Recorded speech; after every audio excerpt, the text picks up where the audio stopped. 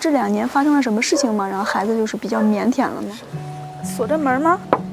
哎，你好，这是哎，你好，这是叔叔。啊，对，你不是来过呀？孩子在家吗？一个在着嘞，一个没有在着这。是弟弟，啊，啊，对对对，是吧？这弟弟这阿姨，哦，你好，他这个愿意哭都哭，愿意笑都笑。啊，你看你天天多开心。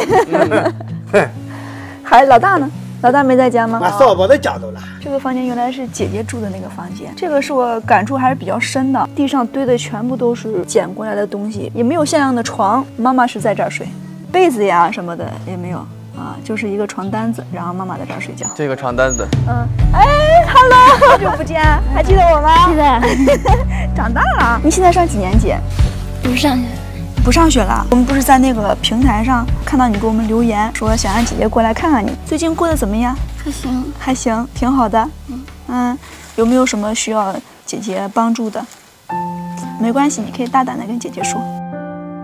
因为你没有上学，我还是挺意外的。你年纪还小，因为什么原因，然后没有再接着上学呢？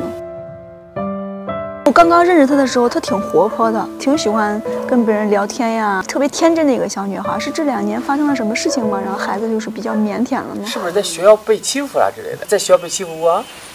嗯，被欺负了。孩子现在就不好说话，一般都和学校霸凌有一定的关系。是吗？